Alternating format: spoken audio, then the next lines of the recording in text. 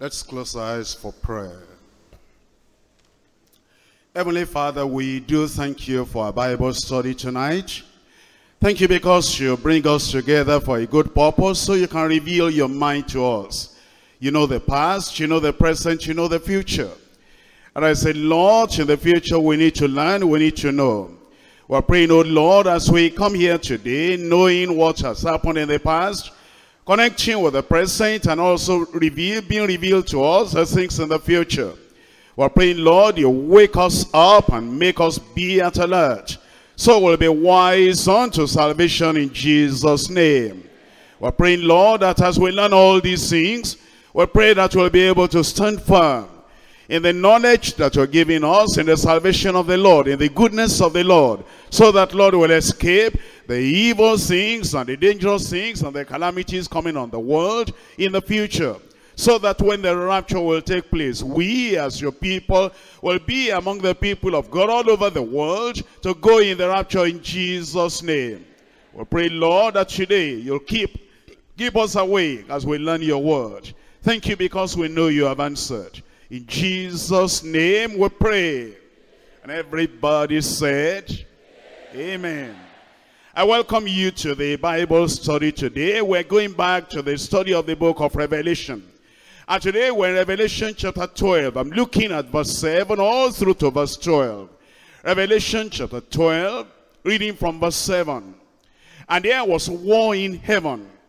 Michael and his angels fought against the dragon. And the dragon fought and his angels, and prevailed not. Neither was their place found any more in heaven. And the great dragon was cast out, that old serpent called the devil and Satan, which deceiveth the whole world. He was cast out into the earth, and his angels were cast out with him. And I heard a loud voice saying in heaven, Now is come salvation and strength and the kingdom of our God and the power of his Christ. For the accuser of our brethren is cast down, which accuse, which accuse them before our God day and night. And they overcame him by the blood of the Lamb, and by the word of their testimony. And they loved not their lives unto the death. Therefore rejoice, ye heavens, and ye that dwell therein. Woe unto the inhabitants of the earth and of the sea, for the devil is come down to you, having great wrath, because he knows that he has but a short time. That's what we're looking at today, what we're studying today. If you look at the first verse that I read to you, verse 7, you'll see in verse 7, and there was war in heaven. And if you look at the last verse, in verse that is in verse 12, you see, therefore rejoice ye heavens, and ye that dwell in them. Woe unto the inhabitants of the earth and of the sea, for the devil is come down unto you, having great wrath. And you bring those two things together, verse 7 and verse 12, and everything in between, you are going to discover war in heaven and wrath on earth. That's why we put the title of this study today as those two composite things. On the one hand, war in heaven. On the other hand, wrath on earth.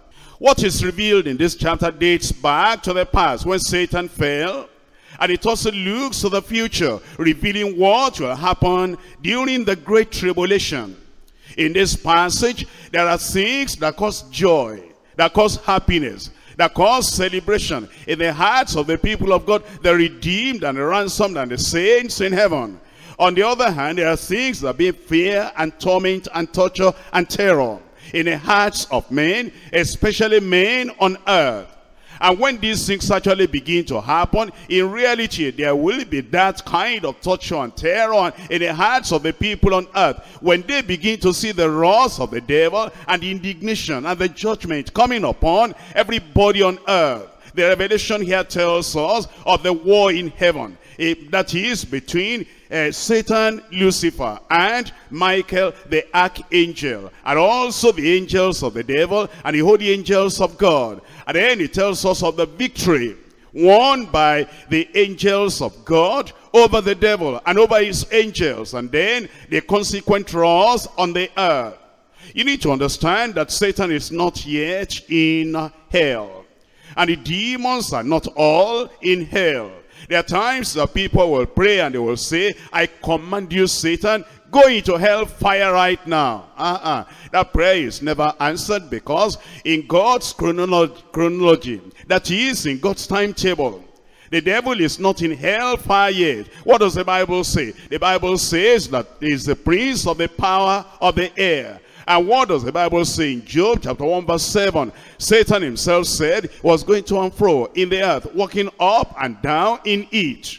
It's not in hell yet. In fact, we are told in the New Testament, your adversary, the devil, as a running lion, walketh about seeking whom he may devour. That tells us then that this uh, devil or Satan or the old serpent or the red dragon is not yet in hell actually was once in heaven.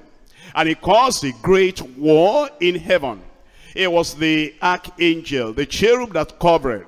But he had an ulterior motive, an ambition, selfish ambition. And therefore the first war ever fought was in heaven when Lucifer attempted to dethrone God and enthrone himself. Michael the archangel and the holy angels had to fight against Satan and the fallen angels. Satan then was defeated and cast in out of the out of heaven and cast into the earth. And on earth now he fights. And that's what the devil does every time. And he fights everywhere. And he has just one plan. Because he failed in heaven. And what he wanted to carry out, he couldn't carry out. Because of that, he has come to the earth. And he's come with a great, great rod. And he's fighting.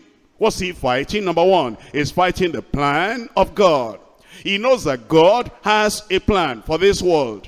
God has a plan for the earth because he wants to give the earth, the whole earth, as an inheritance, as a gift unto his only begotten son. And the devil is fighting that plan. Number two, is fighting the purpose of God. That is the purpose of God, what God has desired, what God has said, this is what I will do. Every time God says, I will, I will, then the devil says, no, you will not, but I will. And because of that, number two, is fighting the purpose of God. Number three, is fighting the prophecies of God. All that God has proclaimed, that this is how the world will end. And this is the program of God. And it goes from this point to this point to this point. From the time of creation to the time of redemption and to the time of consummation of all things, the program of God, the prophecies in the Bible. The devil is fighting that. Number four, the devil is fighting the promises of God. All the promises he has made to Abraham, and to Isaac, and to Jacob. And he said, through you I will bless all the people on earth. Not only that, all the promise that he made unto Israel as a nation that Israel will still become the head and not the tail. And Israel will still reign and Israel will be his son. Let my son go. And he said, Israel is my firstborn. And I'm going to deal with Israel this way, this way, and that way. And the devil is fighting the promise of God. Number five, the devil is fighting the preaching of the gospel. Because he knows it's by the preaching of the gospel that everything eventually will be brought into place. That Calvary will be exalted. And the cost of the sacrifice of Christ will be honored. And because of that, is fighting the preaching of the gospel. Number six, is fighting the people of God the people of God is fighting us. He fought in the Old Testament and he fought in the New Testament. And you know how many of the apostles were imprisoned? And you know how many times Paul the apostle went to jail? And you know how many times he was shipwrecked? And you know how many times they just wanted to destroy him because of the preaching of the gospel. He told the Thessalonians, I would have been with you, perfecting your faith and helping you that you may become unblameable in holiness and righteousness. But Satan hindered us. Is fighting the people of God. Number seven is fighting the Prince of Peace the Lord Jesus Christ. And that is actually the climax and the culmination of the war against uh, everything that is good, everything that is righteous, everything that is true. Would you understand then that the devil is in the business of conflict and war or warfare and is fighting? Fighting the plan of God, fighting the purposes of God, fighting the prophecy of God, fighting the promises of God, fighting the preaching of the gospel, fighting the people of God, fighting the Prince of Peace. And he knows his destiny. He knows that he has but a short time Oh, you say, is that a short time? Because now if the devil has been here from the time of the Garden of Eden, all through to the time of Job, all through to the time of David, all through to the time of Malachi, all through to the time of Jesus Christ, he tempted Jesus on the in the wilderness, all through the time was nailed to the cross, that shall bruise his heel, he will bruise your head, and all through the time of Paul the apostle, Satan hindered us, and all through the time of the churches in Asia Minor, I know where you dwell where Satan's seat is, and yet even though Satan's seat is there, you are upholding my name. And up through to the time of the Great Tribulation, you say that's a long, long time. Oh yes, it appears long compared with eternity.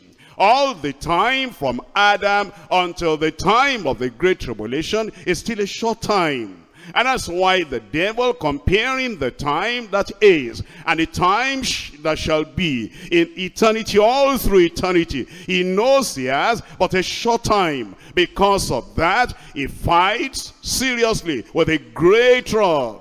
And then when the great tribulation eventually comes, and he knows that the great tribulation is just a period of seven years he will know that now the time left is very, very short. Because of that, he will move in great trust against Israel and against all the people on the earth. That's what we're looking at today. We're looking at the past and we're looking at the future. And we're looking at the things that shall be. War in heaven and wrath on earth. I divide the study to three parts. Number one, the dragon's conflict and war in heaven. Number two, the dragon conquered and cast out of heaven. Number three, defeating the dragon cast down from heaven. Let's come back to point number one. The dragon's conflict and war in heaven. I read verses 7 and 8 of the passage you are looking at, the passage you are studying today. That is Revelation chapter 12, verses 7 and 8. And there was war in heaven. And Michael and his angels fought against the dragon. And the dragon fought and his angels and prevailed not. Neither was there found any more place in heaven. It was a real great battle do I need to remind you that one third of the angels of God, actually they followed after Lucifer, they followed after the devil. If you look at Revelation chapter 4, reading from uh, chapter 12, reading from verse 4, it says, And he still drew the third part of the stars of heaven, and it cast them to the earth, and the dragon stood before the woman, which was ready to be delivered, for to devour her child as soon as it was born. I explained to you in our last study that the stars of heaven, this, uh, this is the angel, the angels of God. And you know the angels of God, they're innumerable. There are thousands of thousands and myriads of millions, millions of millions. And yet one third of that number, one third of the innumerable angels of God, they were attracted by the plan of the devil. He must have promised them quite a lot. And he said, I'll make it, I'll rule, and exalt my throne above the throne of God. And when that takes place, I'll put you in charge. And then they followed after him. He has always been a deceiver. It is what we're looking at now. The dragon's conflict and war in heaven. Think about that. War. Even in heaven and you think about the earth here, and you think there is any, you, you are thinking as you read about war here and war there, and warfare and conflict in various places, how can this be? And they tell us with many churches on earth, and with many churches in our city, and with many churches in our country, how you see there's still conflicts and problems. Ah, even in heaven, because of the presence of Satan, the devil, the old serpent Lucifer, the dragon, because of his presence there, there was war in heaven. Heaven and now he's on earth. And because Satan is on earth, that is why you find that there is a war and there is conflict here on earth as well. It, it tells us in this verse 7, you see there was war in heaven. Michael and his angels fought against the dragon, against the dragon. Let me remind you once again who the dragon is, the identity of that dragon. In Revelation chapter 20 verse 2. Revelation chapter 20 verse 2. And he laid hold on the dragon, that old serpent, which is the devil and Satan, and bound him a thousand years. Here the dragon is uh, giving us, as it says, it's a dragon. By its nature, it's a dragon. By its activity, it's a dragon. And by its violence, it's a dragon. But really, that's the old serpent. And it's called the devil. And his name is also called Satan. As you bring all those uh, things together, you understand when it says that is the old serpent. That means the one that appeared to Eve in the Garden of Eden. Old, old time. And then we're told he caused the trouble. How did he really cause the trouble? What, what made uh, the conflict to really come up? We're told in James chapter 4. James chapter 4. Reading from verse 1. From whence come wars and fightings among you? Come they not hence, even of your lusts, that war in your members? It tells us anytime there's conflict, anytime there's war, it means that somebody somewhere is having inordinate affection, is having lost, wrong, selfish desires and ambition. Actually, that's what caused uh, the war in heaven. Because Lucifer was not satisfied with the position and the privilege that the Lord had given him. There was an evil desire, prompted by an ambition of self-exaltation, to have extended dominion. The ambition for extended rule and love for conquest and gratification of corrupt passions stirred Lucifer's heart to begin a war.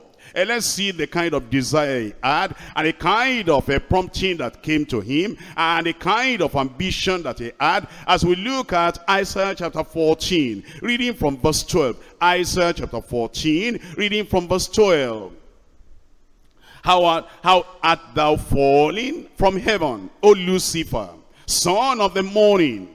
How art thou cut down to the ground, which didst weaken the nation? For thou hast said in thine heart, I will ascend into heaven. I will exalt my throne above the stars of God. I will sit also upon the mount of the congregation in the sides of the north. Here was the ambition and the desire, evil desire, the self-exaltation. And he wanted extended kingdom, extended dominion. And that was a problem. And that is what causes problem today when people are not satisfied with their territory. They are not satisfied with their possession. They are not satisfied with their inheritance. And they want expansion, extension of what they have. And they're jealous of what other people had. And that's what causes all this uh, one conflict. It happens in families, it happens in tribes, it happens in states, it happens in nations, it happens in the world, all over. In heaven, here is what happened. Lucifer was there. And the Lord had given him a great, great privilege and position. And his name was Lucifer.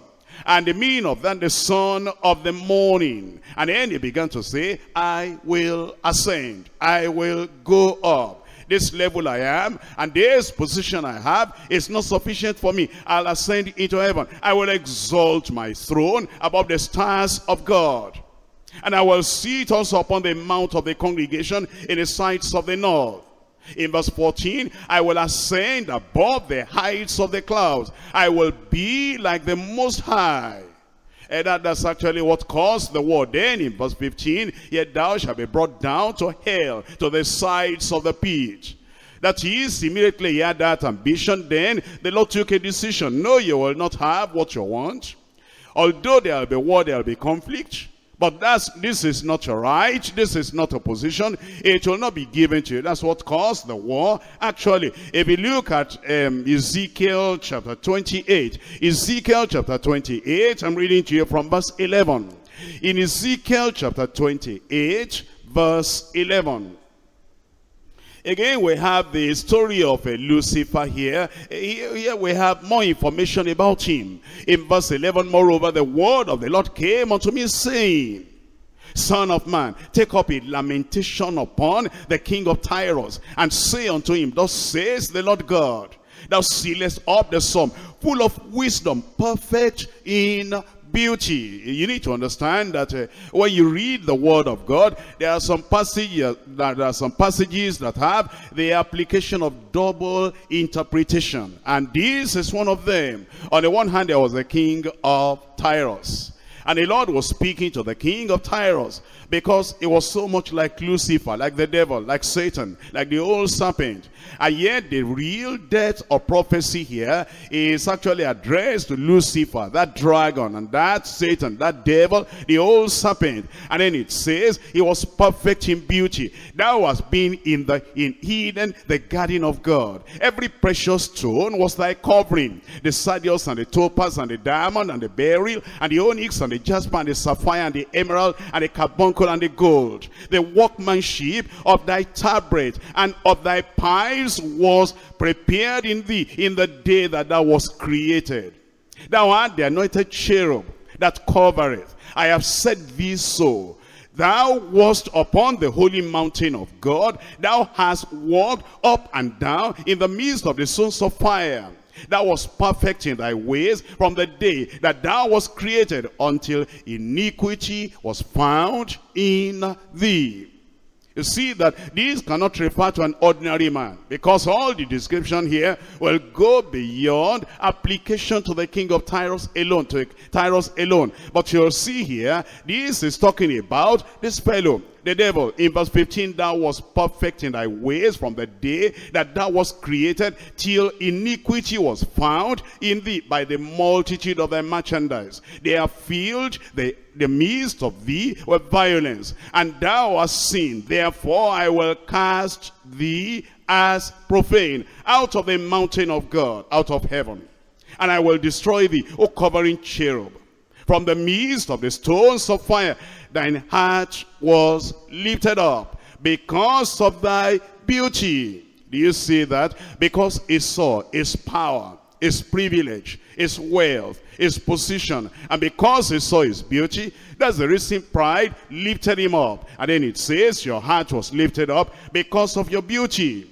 Thou hast corrupted thy wisdom by reason of, the, of thy brightness. I will cast thee to the ground. I will lay thee before kings, and that they may behold thee. And you will understand then that this devil, and that, that's what he was. But then there was this ulterior motive that he had, and there was this uh, conflict that then generated because of the inordinate affection and the impure desire that he had. And that's the reason that Michael had to confront him. If you come back to Revelation chapter 12. Revelation chapter 12 and in verse 7 you remember how everything now ensued how everything came up in verse 7 and there was war in heaven Michael and his angels fought against the dragon and the dragon fought and his angels and prevailed not it was a real a really great battle because the devil wanted to win by all means. He wanted to dethrone God so that he'll be able to set up his own throne. Michael and the holy angels had to crush that rebellion. So they were drawn into the conflict. Satan wanted to rule. He wanted to be like the Most High. Michael and the holy angels were compelled to fight against that unholy ambition of Lucifer, of the devil of Satan. Michael's warfare against Satan did not stop with that initial war and conflict. He had to fight against him on another count. What other count? Well, Moses had been chosen by God. And Moses had been used of God in a, in a mighty way. And eventually Moses died. And the Lord did not want the children of Israel to know where Moses will be buried. He didn't allow them to know the tomb or the sepulchre of Moses because of the tendency of the children of Israel to go into idolatry. Because of the great signs and wonders that Moses had done, those Israelites might just take the body of Moses and then they will be worshiping that body. And eventually as God himself took care of the dead body of Moses, Satan was contending for the body of Moses again. And then eventually another warfare conflict ensued. Again, it was Michael. It looks like this Michael was always the one to be able to take him on and to be able to put him down. If you look at Jude verse 9, Jude verse 9. Yet Michael the archangel, when contending with the devil, he disputed about the body of Moses, does not bring against him a railing accusation, but said, The Lord rebuke thee. You see, when Michael was fighting against uh, Satan, against the devil, concerning the body of Moses, and the, Michael was saying, this man belongs to God. He was chosen by God. He's a servant of God. And then Satan must have been, because he's the accuser of the brethren. He must have been saying, but he did this, but he did that. And then Michael said, but God forgave him. And then the devil said another thing. Then Michael said, the Lord rebuke thee. Even the Mark, Michael the archangel will not overcome the devil in his own power, in his own strength. It was in the power, the strength and the might of the Lord by which he was able to overcome the enemy. He was able to overcome Lucifer, the devil. And he said, the Lord rebuke thee. And yet it appears that he didn't finish there because uh, uh, the devil continued all that he wanted to do and he continued the fight. And yet again it will be at the end of time. If you look at Daniel chapter 10, Daniel chapter 10, uh, this time now Daniel was praying. He was waiting upon the Lord. He wanted to know what's the plan of God for the people of Israel, for the people of God. And Daniel was fasting and praying so that the Lord will reveal to him what will become of the children of Israel in the latter times. Daniel chapter 10, I'm looking at verse 2 and verse 3. In those days, I Daniel mourn, eh, I Daniel was mourning three full weeks. I ate no pleasant bread, neither came flesh nor wine in my mouth. Neither did I anoint myself at all, till three whole weeks were fulfilled. And then in verse 10, and behold, an hand touched me, which set me upon my knees and upon, upon the palms of my hands.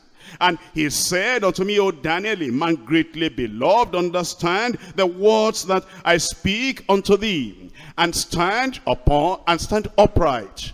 For unto thee am I now sent. And when he had spoken this word unto me, I stood trembling.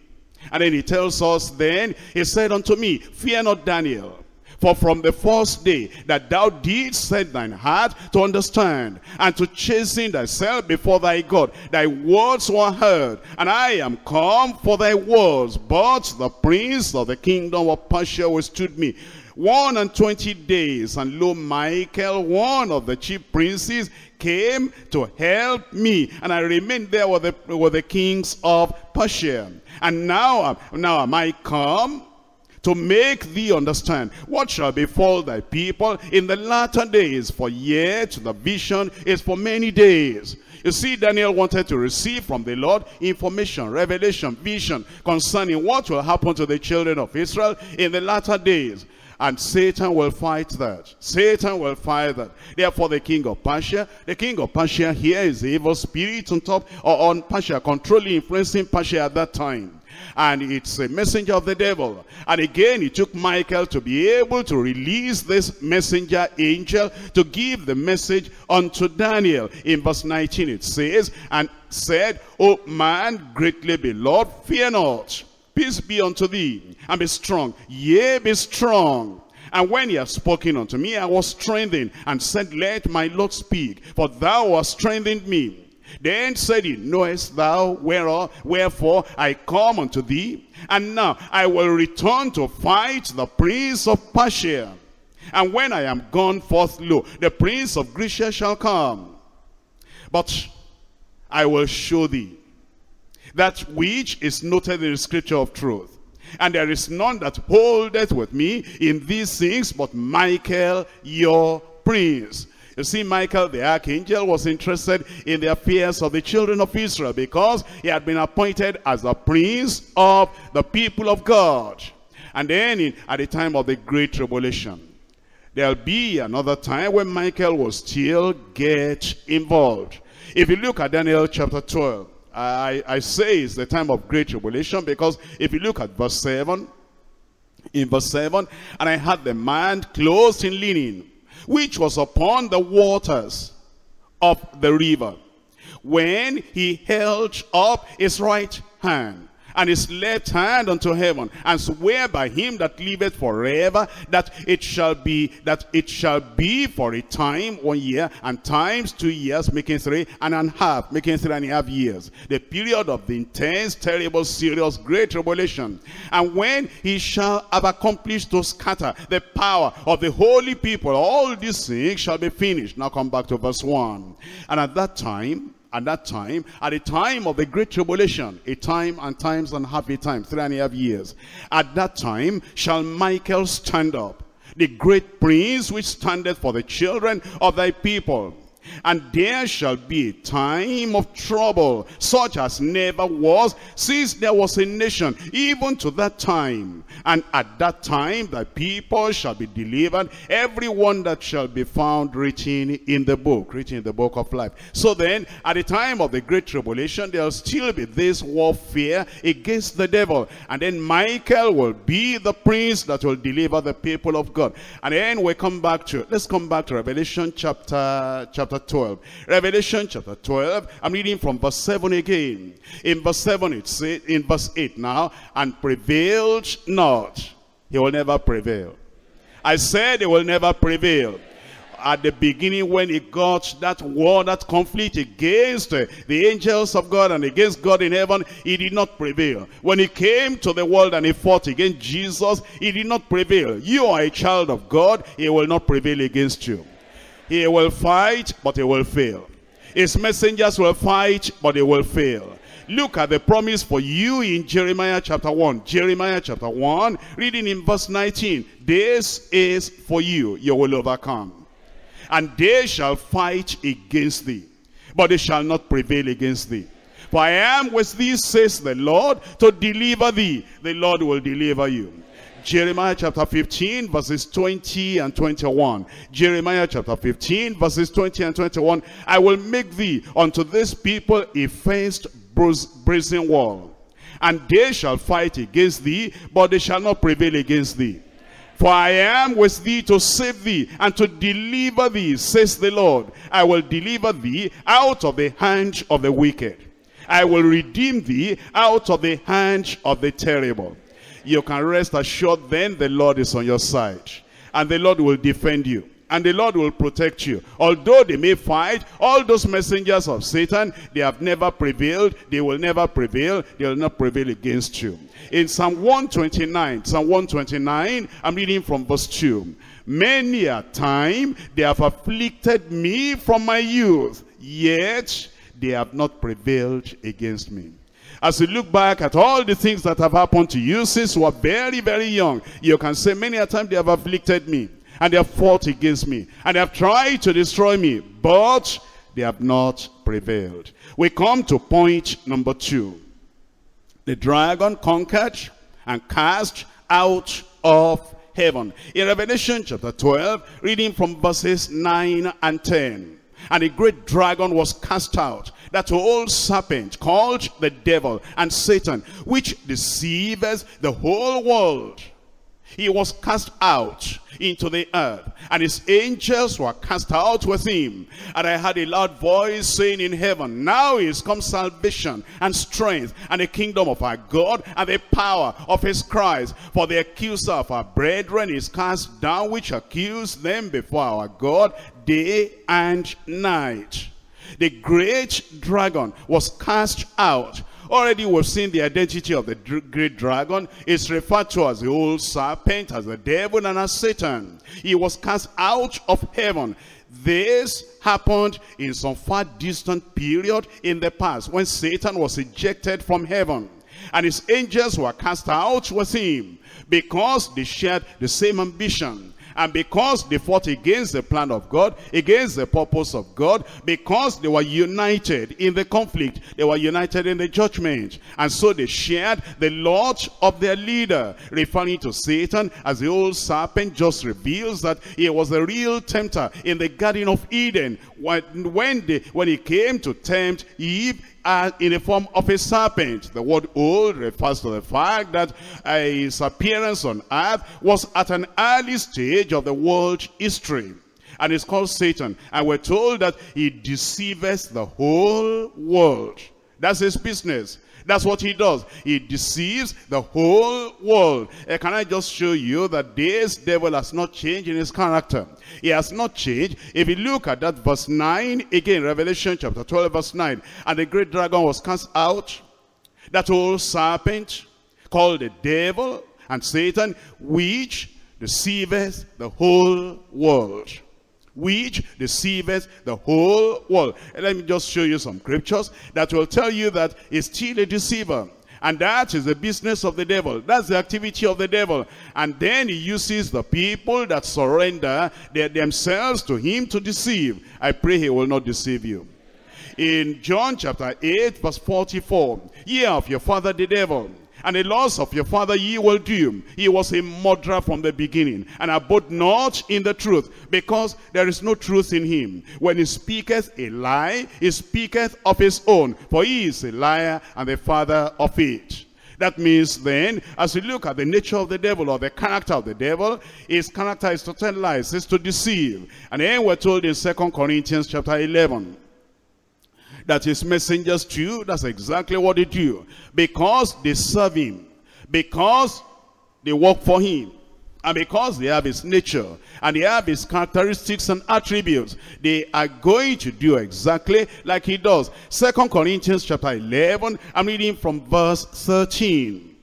For such are false apostles, deceitful workers, transforming themselves into the apostles of Christ false prophets, false apostles, false teachers, false pastors, false leaders, church leaders, they transform themselves into apostles of Christ. And no marvel, for Satan himself is transformed into an angel of light. Therefore, it is no great thing if his ministers also be transformed as the ministers of righteousness, whose end shall be according to their works. So you see then that the, uh, the work of the devil is just to deceive. And in the great tribulation, that is, at the time of the great tribulation, that's going to be a serious thing. That the whole world will be deceived by him. In Second Thessalonians chapter 2. Second Thessalonians chapter 2, reading from verse 8. Then shall that wicked be revealed, whom the Lord shall consume with the spirit of his mouth and shall destroy with the brightness of his coming. Even him whose coming is after the working of Satan with all power and signs and lying wonders. Power, signs and wonders but they're lying wonders they're, they're wonders signs and wonders miracles that are calculated to deceive then it says, and with all deceivableness of unrighteousness in them that perish, because they received not the love of the truth, that they might be saved. That is the people that do not love the truth, the people that do not love sound doctrine, the people that do not love the, the word of God concerning a righteous life, a pure life, a holy life, a sanctified life, those people are going to be easily deceived because they receive not the knowledge, the love of the truth, that they might be saved. For this cause God shall send them strong delusion that they should believe a lie, that they all might be damned, who believed not the truth, but had pleasure in unrighteousness. And at the time of the great tribulation, is going to really come out in his true colors, but the people will not know. And is going to deceive in various ways. In Revelation chapter 13, reading verse 14. Revelation chapter 13, reading verse 14. And deceiveth them that dwell on the earth by means of those miracles which he had power to do in the sight of the beast.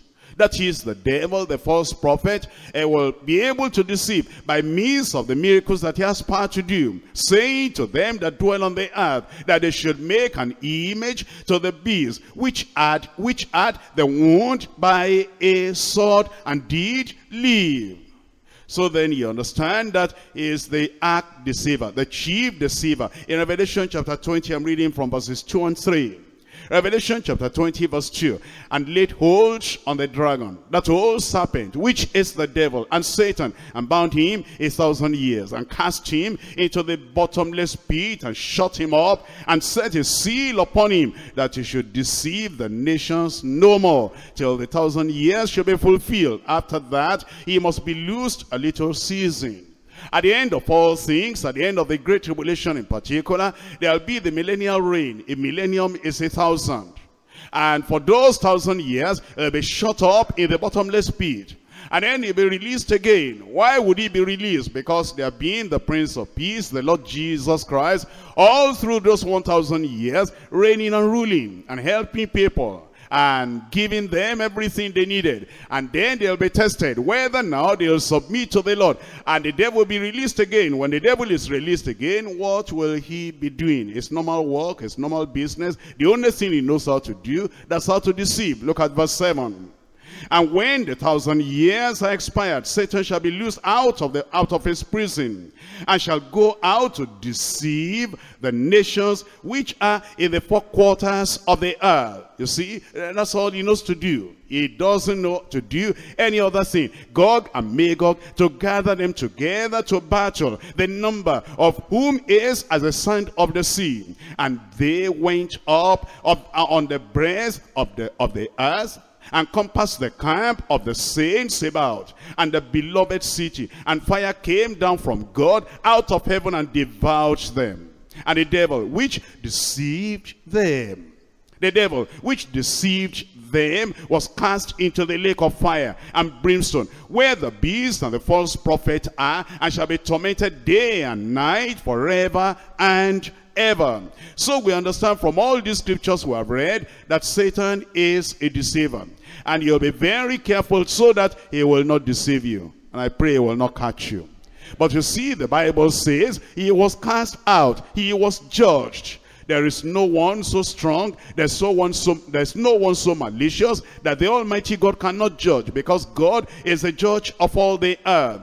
And it's the one that can, if he could judge Lucifer, if he could judge the angels that fell, he can judge any man and he will judge. And in Luke chapter 10, Luke chapter 10 verse 18, and he said unto them, I beheld Satan as lightning fall from heaven. Jesus confirmed the fall of Satan.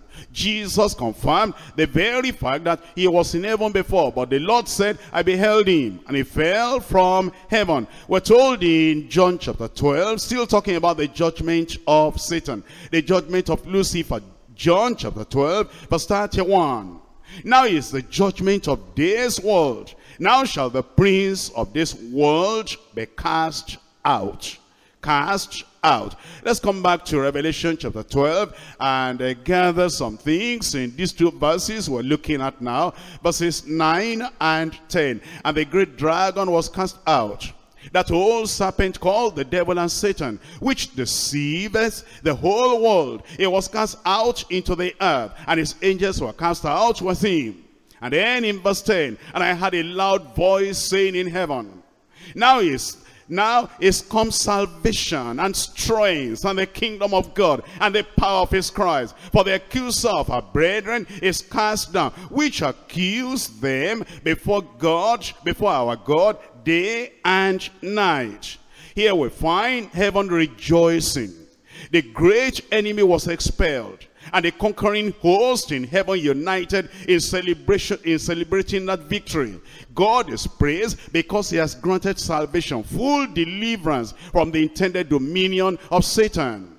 The strength, eh, the strength to cast out the dragon is the mighty power of God manifested in subduing the great enemy with the certainty of ultimate triumph that the kingdom of our God and the power of his Christ will be established. That's why the whole of heaven rejoiced and jubilated because of the victory that came unto them. And actually this victory had been prophesied from the time of the Old Testament. If you look at um, Psalm 22, in Psalm 22, reading from verse 28, you will see that uh, the, the reigning of the Lord and the dominion of the Lord have been prophesied for a long time. In Psalm 22, verse 28, Psalm 22, verse 28, here we're told, for the kingdom is the Lord's, and he is the governor among the nations. Which tells us then that ultimately the rulership, the authority will belong to the Almighty God.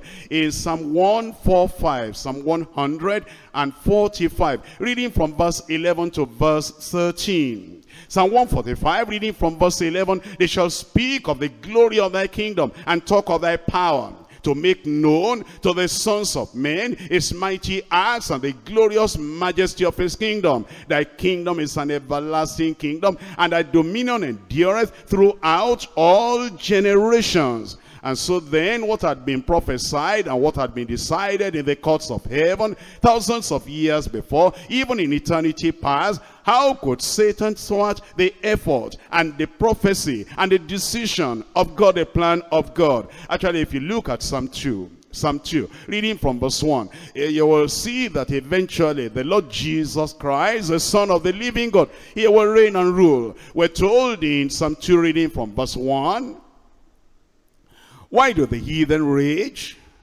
Or the, and the people imagine a vain thing. The kings of the earth set themselves, and the rulers take counsel together against the Lord and against his anointed, saying, Let us break their bounds asunder, and cast away their cords from us. He that sitteth in the heavens shall laugh. The Lord shall have them in derision. Then will he speak, then shall he speak unto them in his wrath, and vex them in his sore displeasure. Yet have I set my king upon my holy hill of Zion.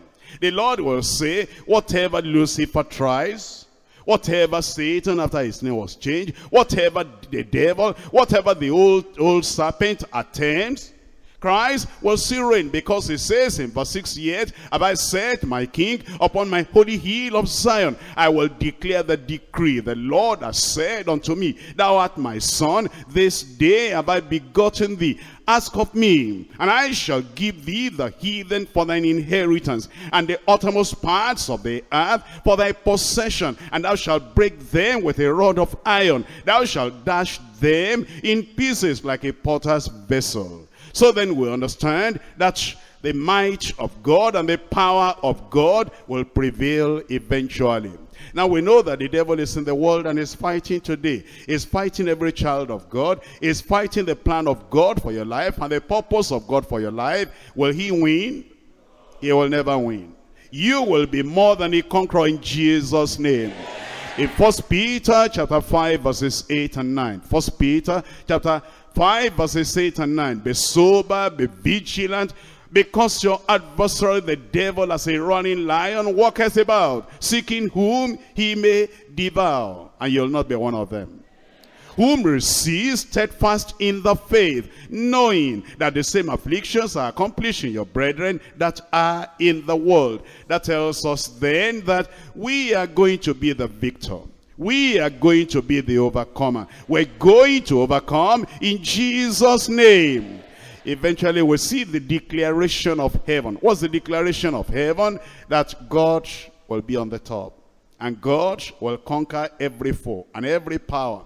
And he will reign, Christ will reign forever and ever.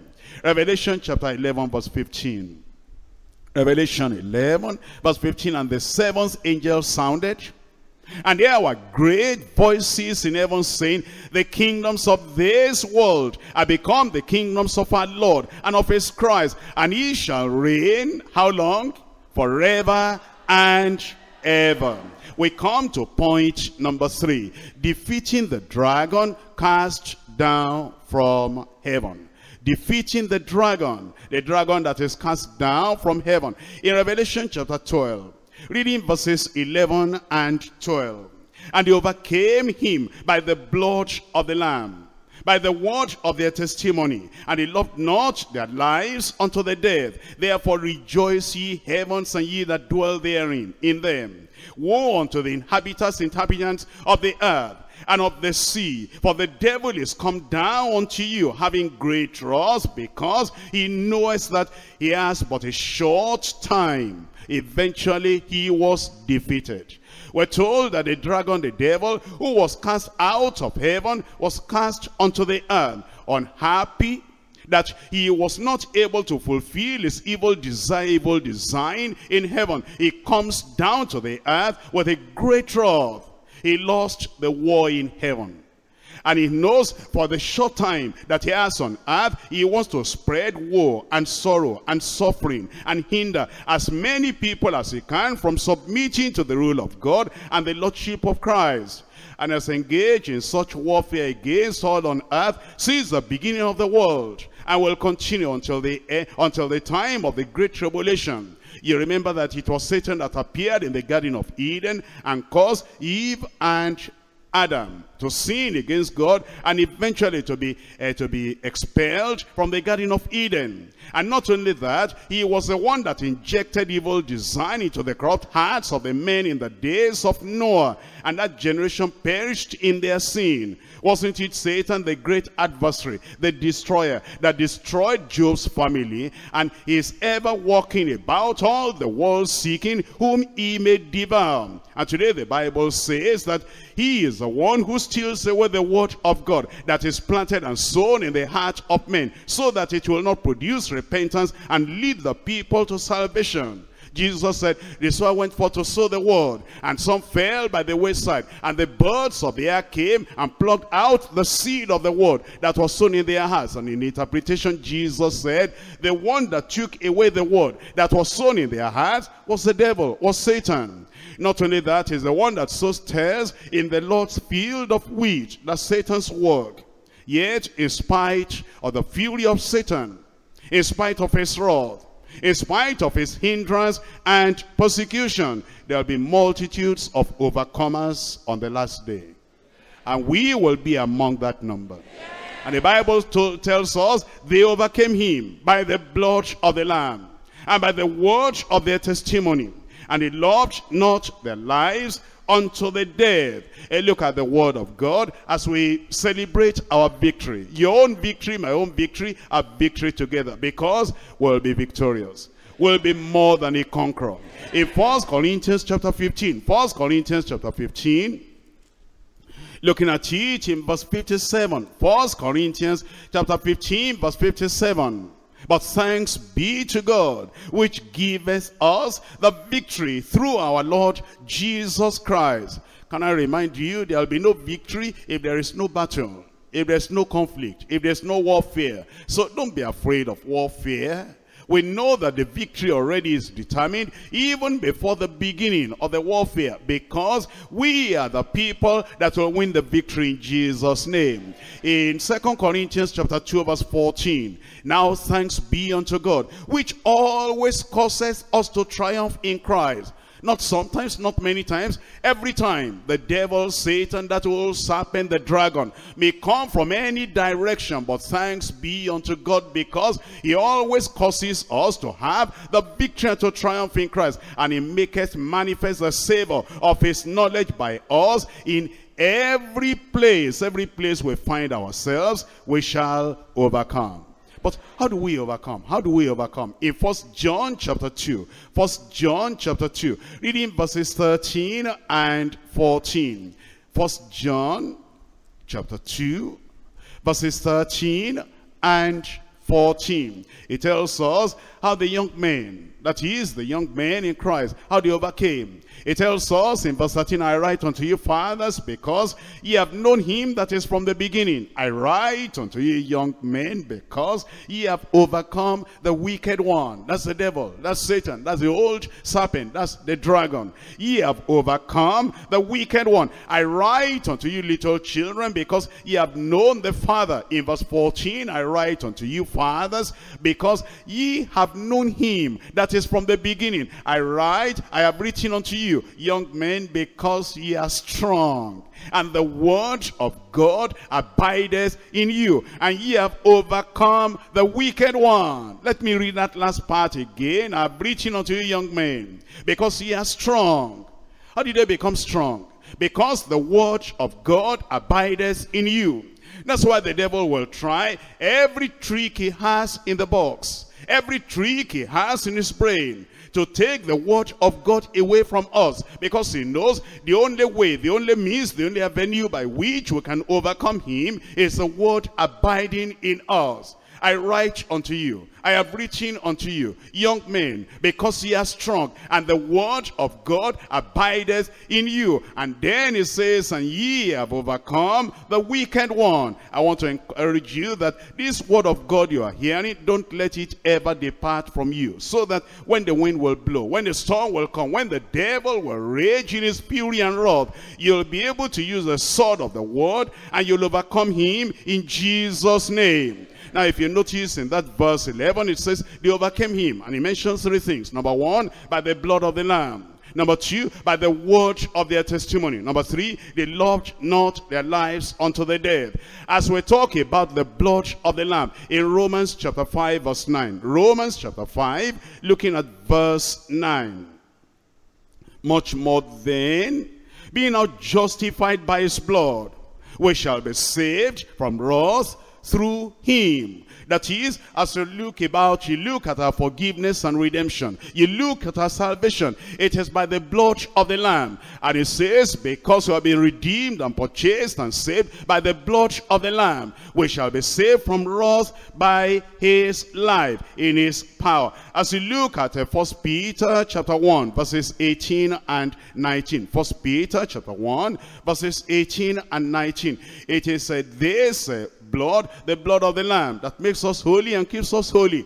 And it is the power in the blood of the Lamb that actually gives us in the victory. In First Peter chapter 1, reading from verse 18. First Peter 1, verse 18. For as much as you know that ye were not redeemed with corruptible things as silver and gold from your vain conversation received by tradition of your fathers but with the precious blood as of a lamb without blemish and without spot.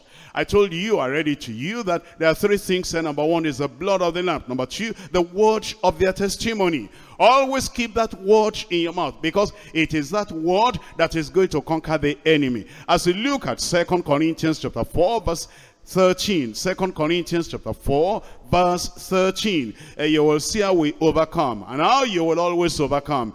In uh, 2 Corinthians chapter 4, verse 13, it says, We having the same spirit of faith, according as it is written, I believed, therefore have I spoken. We also believe, therefore speak. Speak the word of God. Speak the promises of God against the devil. When he comes in any direction, raise up the standard and the weapon of the word of God because that is how you're going to overcome. Let me show you how to do it in Acts of the Apostles chapter 27 verse 25. Acts of Apostles chapter 27 verse 25. Wherefore, sirs, be of good cheer. Don't worry about the storm. Don't worry about the conflict. And don't worry about the devil. He's a defeated foe and he's under our feet already.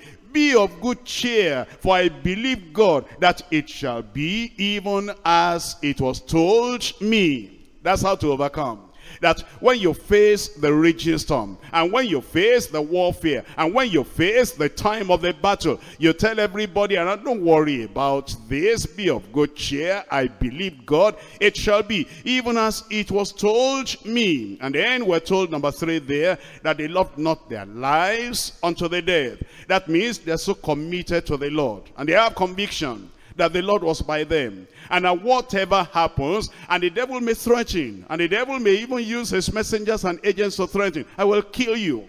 I will destroy you. He thinks that when he says that, you're going to be trembling and you're going to be shaking, but he doesn't know that you believe in Christ, who is the resurrection and the life. And you say, you cannot do anything to me. Jesus has conquered you, and Jesus has conquered death, and because of that, I will even lay my life on the line, defending the authority of the word and the spiritual infallibility of the word. I'm standing on the unchanging word of God. And then when the devil sees like that, that they love not their lives even unto the death, he will leave you alone.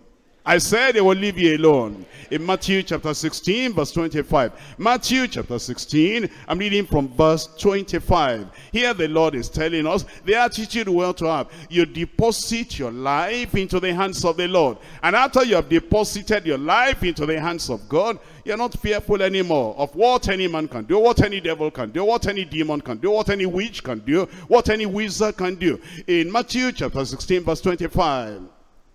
Whosoever shall save his life shall lose it. That is, whosoever will, you know, be protecting his life. I can't go to the Bible study because it's night. And I can't go on the road and go to church service because it's night. And he's, you know, keeping himself and he's trying to protect himself. He, he's, he's too cautious. And he's saying there's danger here, there's danger there. Therefore, I cannot do the work of God. I cannot go and evangelize. I cannot go to the fellowship. I cannot do this. I cannot do that. He will lose his life because he's trying to keep his life by himself. But the one that says, I've given my life to the Lord Jesus Christ, and I'm going to expend my time, my life, my blood, my energy for the Lord. Then it says in the second part of that verse, it says, Whosoever will lose his life for my sake shall find it. Whosoever will say, I throw my life into the service of God, and I don't care the threatening of the devil, he says, you are the one that will be protected. You know, that let me show you in the language of Paul the Apostle. In Acts of the Apostles chapter 21.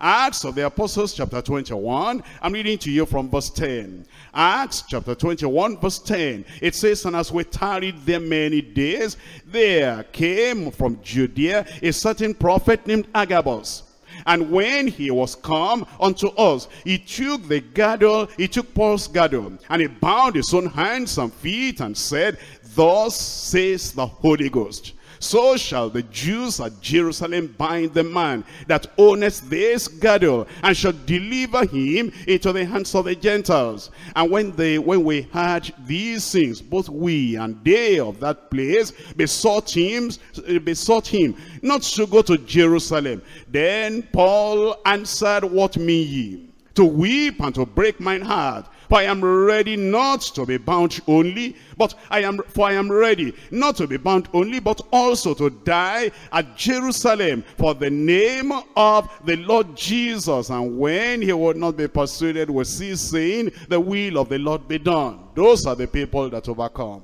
And you will be among the number.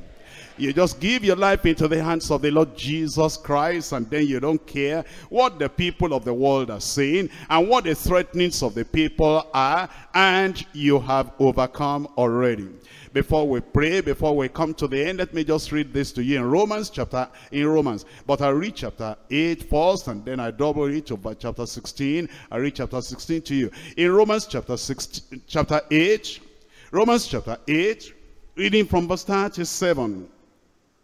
It tells us, nay, in all these things, we are more than conquerors. Who are the people more than conquerors? We. We are here. God bless you. You will overcome. I said you will overcome. They overcame the devil originally, and every time he has always come against the faithful people of God, the people of God always overcame. Your own will not be an exception. You will be an overcomer too. Because he says no. In all these things, everything, put everything together. We are more than conquerors through him that loved us. Because I am persuaded that neither death, nor life, nor angels, nor principalities, nor powers, nor things present, nor things to come, nor height, nor depth, nor any other creature shall be able, shall be able. Neither. None of these things shall be able to separate us, to be able to separate you from the love of God, which is in Christ Jesus our our Lord. Give me a good amen. And in Romans chapter 16 verse 20, the God of peace shall bruise Satan under your feet shortly. Stand up and put that Satan under your feet and put all his problems under your feet and put all his conflict under your feet. All his warfare the don't cry for the devil. Don't cry for the messengers of satan. Don't look back because of the messengers of satan. You have overcome. God calls you a conqueror. God calls you more than a conqueror. Are you looking back? Are you becoming timid and becoming fearful when the lord says the lord shall subdue the devil satan that old serpent the dragon under your feet shortly. They overcame him by the blood of the Lamb. They overcame him by the word of their testimony. They overcame him and they loved not their lives unto the death he will not overcome you. The devil will not overcome you. Satan will not overcome you. And sickness will not overcome you. And all the powers of darkness will not overcome you. All those things that appear to you in the night, they will not overcome you. We're not even in some of the great tribulation yet. All that we see today, they are small, minor, minor, minor things. And they cannot overcome you. You have overcome. You have overcome. You have overcome. Whatever you see in the day, whatever you see in the dream, you are, you are an overcomer. You are an overcomer. Nay, in all these things, in all these things, in all these things, we're more than conquerors through him that loved us. Through him that loved us. He gave himself for us. We have overcome. My brother, you have overcome. My sister, you have overcome. My daughter, my son there, you have overcome. You are an overcomer. You are an overcomer. You will, you will not be, you will not be defeated. You will not be conquered. They will not prevail against you. The might of the Lord, the strength of the Lord, the power of the Lord will make sure that you overcome all the time. You'll be on top. You'll be on top. You'll not be beneath. All the arrows he throws at you, all the darts he throws at you, all the machinations of the devil, all the maneuvering of the devil, you will overcome. You will overcome. Don't be afraid. Don't be timid. Don't look back. Don't cringe. And don't cry for the devil. Don't cry before the agents of Satan. And don't cry for the enemy. Because they, overcome, they overcame him. And we shall overcome him. By the blood of the Lamb. By the word of our testimony. And then you lay your life on the line. I give my life to you, Lord. And I care not what they say. I care not what they do. I care not from what direction they are coming. I've given my life to the Lord. Everything belongs to the Lord. Everything belongs to the Lord. And he will keep what I've deposited into his hand. I am confident of this one thing. That he will keep what I've committed into his hand against that day. You will overcome. You have overcome already. You are standing on your problem. You are standing on the, on the devil. The dragon is defeated already and is cast down. He will not overcome you. He will not overcome you. Whatever direction he comes from, he will not overcome you. He cannot overcome you. We have overcome. We have overcome. Yes, we have overcome. Ours is the victory. You can celebrate your victory. You can celebrate your triumph. Anytime, every time. Ours is the victory. Ours is the victory. You overcame by the blood of the Lamb. You plead the blood of the Lamb. The blood of the Lamb. The blood of the Lamb. The blood of Jesus. That's the blood that saved you. That's the blood that sanctified you. That's the blood that gave you the blessing of redemption. And you overcame him by the blood of the Lamb. An overcomer. More than a conqueror. More than a conqueror. More than a conqueror. More than a conqueror. In all these things we are more than a conqueror.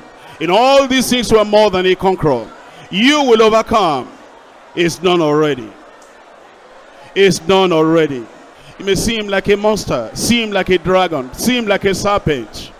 Whatever you see, what picture you see, whatever portrait you see, don't worry about the portrait, don't worry about what you see, don't worry about the picture, don't worry about the monster. What we know is that the lion of the tribe of Judah, that's the Lamb of God, Jesus Christ, he has overcome him on your behalf. He has overcome him on your behalf. No more fear. No more timidity for the devil. No more cringing. No more running away. No more crying. No more worry. No more anxiety. Victory. Victory. All the time. All the way through. Victory. We have overcome. We have overcome. You are part of that number. The number of overcomers, the people who overcome. On the road, you overcome. In the house, you overcome. In the dream, you overcome. In the church, you overcome. In the office, you overcome. In temptation, you overcome. In trials, you overcome. At the time of sickness, you overcome. In the time of affliction, you overcome. Every time, everywhere you find yourself, you are more than a conqueror. You are an overcomer. In Jesus' name we pray. I said in Jesus' name we pray. I said in Jesus' name we pray. Where are the overcomers today? Where are the people that are more than conquerors today? Keep up those signs in the name of Jesus. Almighty God, we thank you because we know from the very beginning when the devil rose up, when Lucifer rose up, and he wanted to contradict your plan, your purpose, your prophecy, your plan, and your promises, and the word of God, and what you have decided, he was overcome. And today we have your plan. Today we're the people that you have chosen and we're part of your purpose and we're part of your plan and we're part of the declaration of the prophecy of the word of God because he tried to fight against you. That's why he's trying to fight against us. You have overcome him on our behalf. Therefore, we are victorious in Jesus' name. I pray for every brother, every sister, every boy, every girl here tonight. I'm asking, oh Lord, the victory of Jesus Christ and the victory over the dragon. You give to every one of us in Jesus' name. Lord, I pray that in whatever direction the devil may come against any of your people, in trial, in tribulation, in temptation, whatever it is, the troubles of this world, every brother here, every sister here, every child here, give everyone the victory in Jesus' name.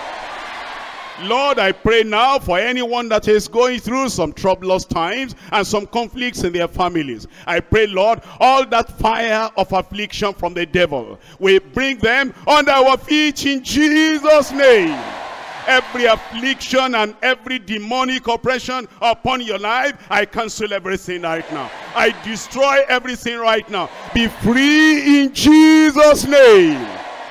Lord, I pray for the people that the devil have been discouraging. It says, you'll not get married. It says, you'll not have child. It says, I know what to do to you, to oppress you. I'll not allow you to have everything your heart is desiring. I knock the hand of the devil away from the lives of your people in Jesus' name. Lord, I pray every good thing you have promised your people and Satan is trying to fight against the promise of God and against the purpose and the plan of God in their lives. Lord, we defeat the devil right now.